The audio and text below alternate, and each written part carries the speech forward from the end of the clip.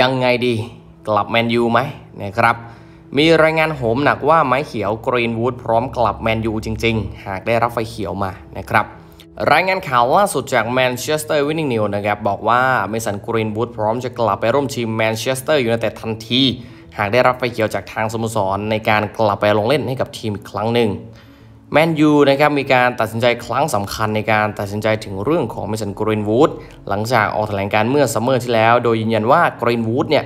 จะไม่ได้ลงเล่นต่อในฐานะนักเตะของแมนเชสเตอร์ยูไนเต็ดเลย ก่อนจะจบลงด้วยการไปเล่นยืมตัวกับเกตาเฟ่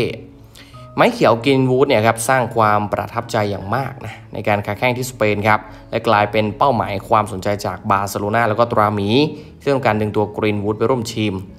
แต่จากการเข้ามาของเซอร์จิมแรดคลิปนะครับได้ยืนยันว่าลูกหม้อรายนี้คือนักเตะของแมนยูและจะมีการพิจารณาอนาคตของกรีนวูดอีกครั้ง โดยจะมองจากความเป็นจริงเซอร์จิมพูดประมาณว่า มันคือการตัดสินใจใหม่สำหรับเรา เขาคือนักเตะของแมนเชสเตอร์ยูไนเต็ด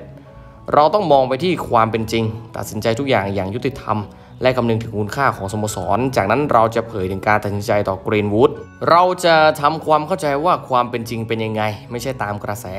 เราจะประเมินว่าเขาเป็นผู้ชายที่ดีหรือเปล่า เขาจะลงสนามให้กับเราอย่างจริงใจหรือเปล่า ความสบายใจของพวกเรารวมถึงแฟนบอล เราจะตัดสินใจถึงเรื่องนี้กันอีกทีหนึ่งอันนี้คือสิ่งที่เซอร์จิมได้เปิดเผยในเรื่องของกรีนวูดเกริ่นขึ้นมานะครับ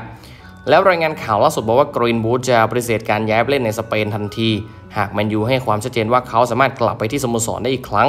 โดยเป็นที่เชื่อกันว่าเขาเป็นหนี้แฟนบอลของสโมสร และเอริกเทนฮากที่ไม่สามารถใช้งานเขาได้ถึง 2 ปี รายงานก็ยังบอกว่ากรีนวูดพร้อมจะเดินทางกลับบ้านเกิดของเขาในทันที หากได้รับโอกาสในการลงสนามให้กับแมนเชสเตอร์ยูไนเต็ดอีกครั้ง และเป็นส่วนหนึ่งของทีมในฤดูกาลหน้าโอ้โห เอาละสิครับ น่าสนใจครับ คดีจะพลิกหรือเปล่าสำหรับอนาคตของเมสันกรีนวูดนะครับ โอ้โห หลังจากนี้ถือว่าเป็นอะไรที่น่าสนใจนะครับสำหรับอนาคตของไม้เขียวเมสันกรีนวูด